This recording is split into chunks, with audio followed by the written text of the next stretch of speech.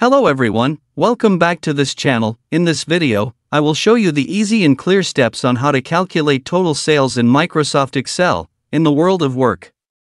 Especially in the administration or accounting section. Sales data is very much needed.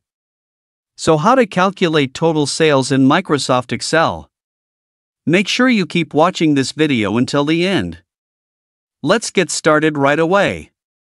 Here I will tell you two ways to calculate the amount of sales. The first method.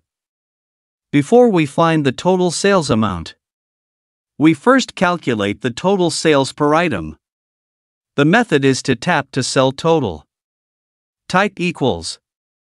Type the number of items. Type multiplied. Type the price of the item. Then tap enter. Here the results are visible. On the next line, tap to cell total. Type equals. Tap the number of items. Type multiplied. Tap the price of the item. Then tap enter. Here the results are visible. Tap to cell total. Type equals. Tap the number of items. Type multiplied. Tap the price of the item.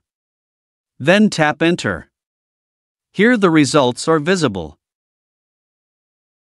For the next to be faster block 3 total data. And block down will automatically follow the previous formula. After the total per item is known. Then find the amount of sales in the first method. Tap the cell on the amount of sales. Well, Usually we find the amount of sales by adding one by one the amount per item one by one. This takes a long time and is not efficient. The method Tap cell on the amount of sales. Type equals. Tap SUM type open brackets. Then enter all the total data per item by blocking all the data. Type close brackets. And tap enter. Here the results are out.